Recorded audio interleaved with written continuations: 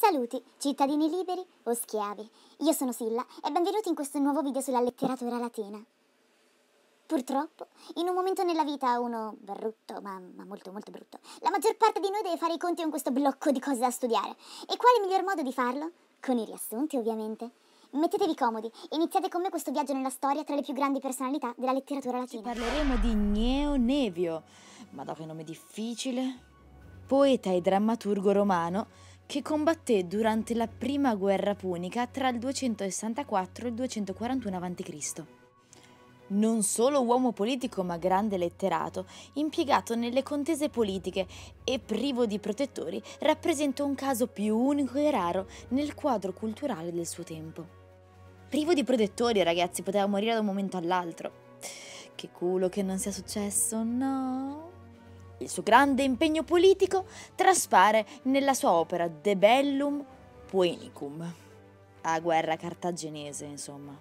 Dai frammenti che ci sono rimasti si vede come già Nevio cantasse il viaggio di Enea da Troia all'Italia, parlando anche dell'incontro a Cartagine tra Enea e Didone.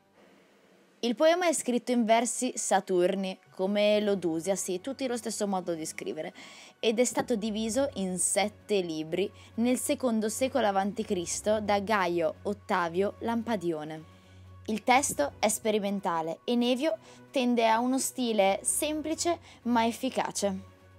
L'innovazione di Nevio fu nella produzione dei testi teatrali, con l'introduzione della fabula pretexta che è la tragedia ambientata a Roma anziché in Grecia. Ne conosciamo due titoli, Romulus o Lupus e Clastidium. La prima è la storia della fondazione di Roma, mentre la seconda è la celebrazione della battaglia di Casteggio, avvenuta nel 222 a.C., vittoria ottenuta contro i Galli da Claudio Marcello. Temi innovativi e bravo Nevio!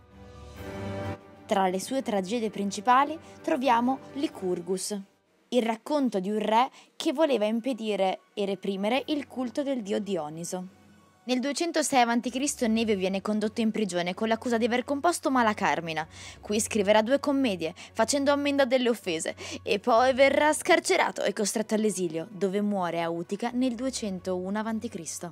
E anche la storia di questo scassatoga è finita. Io spero che vi sia piaciuta e noi ci vediamo la prossima settimana con un altro video. Ciao!